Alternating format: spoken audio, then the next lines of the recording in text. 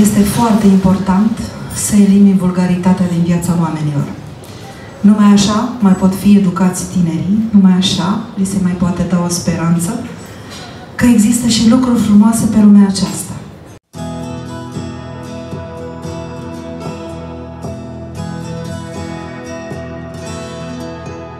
Numai așa pot înțelege că nu se reduce totul la calculator și la mâncare gata, mestecată. Este foarte important ca tinerii să-și croiască un drum. Noi trebuie să acceptăm cu toții ceea ce spune țărancă, românca noastră. Timpul trece și noi ne petrecem. Este clar că trebuie să cultivăm tânăra generație care este preocupată de lucruri de finețe spirituală, precum este poezia. Să nu bată numai la uși închise. Le trebuie o rezistență morală. Arta, în general, cere foarte multă rezistență morală. Este important să nu te descurajezi. Dacă ai ceva de spus, să nu te lași până nu spui. Niciodată mediul nu a fost o mamă bună și lăptoasă față de artă. Trebuie să ne gândim cum au trăit niște mari artiști. În ce sărăcie și nu mă gândesc decât la Marele Eminescu. Omul trebuie să-și creeze un interior pe care să se sprijine și singur și să nu conteze numai pe cei din jur. Oricine din jur te poate lăsa, oricine din jur te poate trăda. Totul este ca tu cu tine însăți să te împaci. Aceste cuvinte mi le spunea Ileana Volpescu în 2015 și le găsesc mai actuale ca oricând. Și uh, n-am vorbit aiurea mai devreme când am făcut acea comparație între teatrul atunci și teatrul acum. Și sunt bucuroasă că doamna Dorina Lază ne-a adus aici câteva fotografii din spectacolul Arta Conversației și da, aici doamna Dorina Lazar și Adriana Trandafir. Îmi pare rău că nu se pot mări, am încercat. Eu vă promit, colegul meu, când va face montajul pentru mediul online, pentru site și pentru Facebook, să insereze aceste fotografii așa cum sunt ele la mărime naturală. Vă promit că se va întâmpla. Alex, ești aici, nu ești martor, da? Vă dați seama ce bucurie a fost pentru mine când ambele doamne aici de față au spus da. Aș vrea să vă întreb. Cu cine să încep? Cu doamna, sigur că a, a făcut mâna trebuie. doamna Dorina Lazar, cum s-a întâmplat să fiți distribuită în acest rol?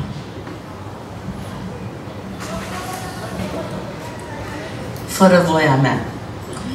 Adică, într-o zi, uh, doamna Elena Deleanu, directoarea noastră din uh, anii aceia, directoarea Teatrului Giulești,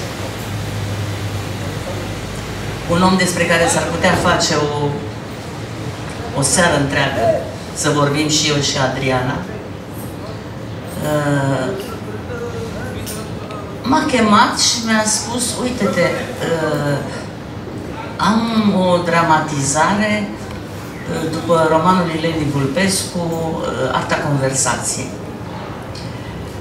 Uh, fac o mică paranteză. Noi aveam un coleg, George Bănică, actor, dar un om foarte citit și foarte iscusit în a, a scrie și a face dramatizări din romane, din în, a, în asemenea fel încât uh, el l-a dramatizat de altfel și l-a și regizat pe Monciu Sudinski. Uh, o vorbim noi și de Monciu Sudinski, dacă vreți, dar deocamdată să mă refer la momentul începutului. Uh, și eu am luat uh, asta, uh, cartea, am luat uh, dramatizarea, le-am citit și nu mi-a plăcut. Ehm, vedeți, dumneavoastră, actorul e atras mai degrabă de rolurile negative. Ehm, și cele pozitive nu sunt ofertante. Trebuie să fii bun, frumos, drept și devii plicticos. uh, unul rău al dracului și zgârcit Hagi Tudos e mai interesant. Uh, și a zis, doamna, nu-mi place, e prea bună, e prea frumoasă, n-are nimic, nu râre, nu sâsâie, nu uh, uită, nu, nu. Și țin minte că eram în sala de, de ședințe sindicale a Teatrului Giulești, acolo în Giulești, și am, mi-a luat mâna și mi-a zis, te rog, fă-o pentru mine. E, când zice directoraj, mai ales că noi țineam foarte mult la dumneavoastră și era un om extraordinar. Bine. Și au început repetițiile și a apărut o fetișoară în distribuție rău de bună. Rău de bună. Nu plânge, că... uh,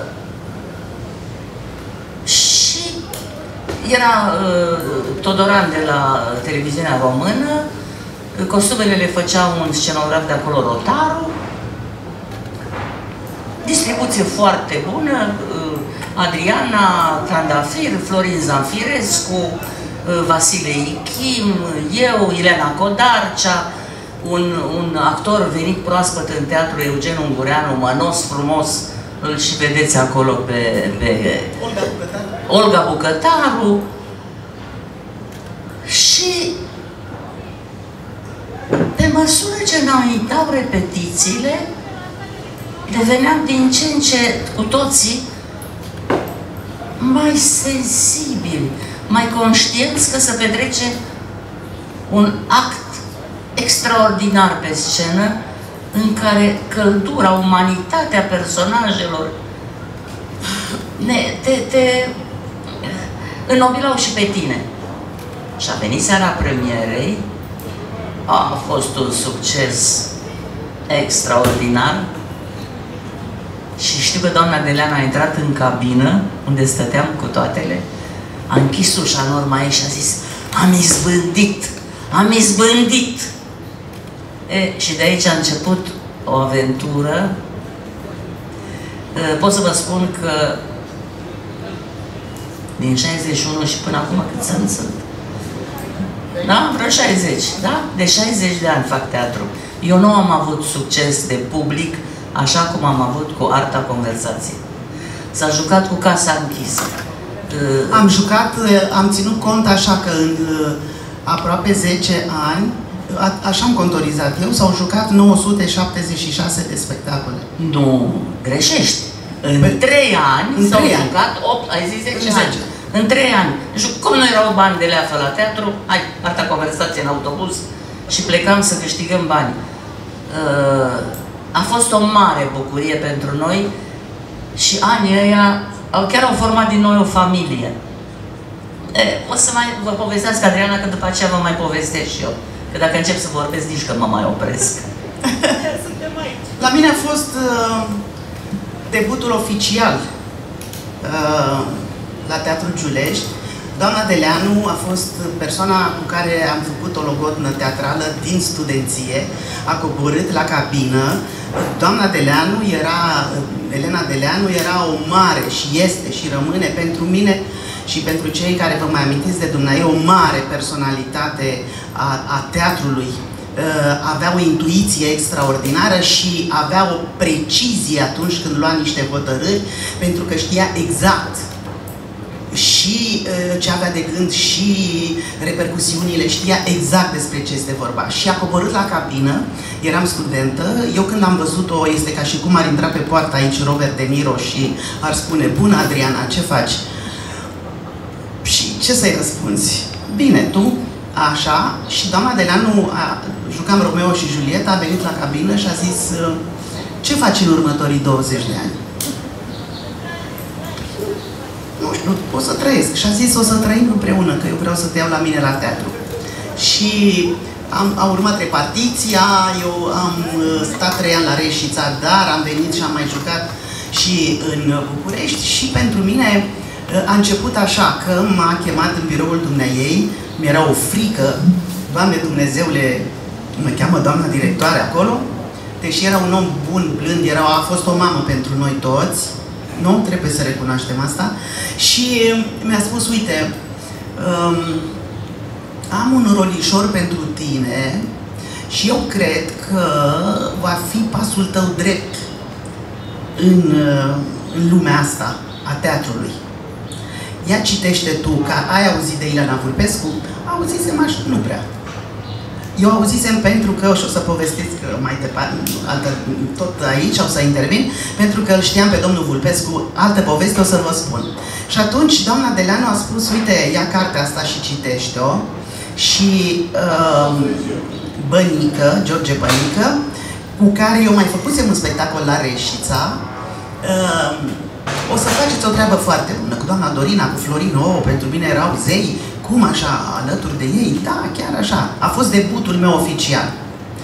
A fost cea mai mare haiducie din viața mea și doamna Deleanu, tot doamna Deleanu a a venit la o vizionare și a spus nu, nu-mi place cum ești îmbrăcată, tu trebuie să fii îmbrăcată elevă. Și atunci a spus, nu vei fi îmbrăcată așa, acolo, um, ca o adolescentă, tu trebuie să fii îmbrăcată în uniformă, în uniforma de școală. Și atunci mi-am luat uniforma mea de liceu și cu bluza mea de liceu uh, și am jucat uh, și am jucat-o pe Maria și atunci personajul meu a devenit atât de uman și atât de dureros în toată povestea asta, de convingător, de durer. Cine a văzut arta conversației de aici? Aha, am dreptate, așa este, era cu tremurător uh, să vezi un copil care, cum începea? În anul 3 de facultate. Știți, avea, aveam, uh, și, și am și acum sentimentul acesta, uh, ia actorul pe scenă, da? Și cu noi începe spectacolul, cu cel care ești în, în scenă. Și stăteam pe fotoliu, în față stătea Florin Zanfirescu, se auzea un gong, se auzea al doilea gong, al treilea și ziceam, acum nu pot să mai scap, nu mai pot fugi, de aici nu mai fugi, trebuie să stai până la capăt. Și stai până la capăt.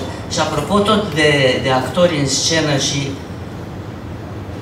indiferent dacă ești debutant sau dacă ești uh, bătrân pensionar, frica și sfiala de scenă nu se pierd. Ba, e mai, uh, la mine s-au accentuat cu, odată cu... Și, uh,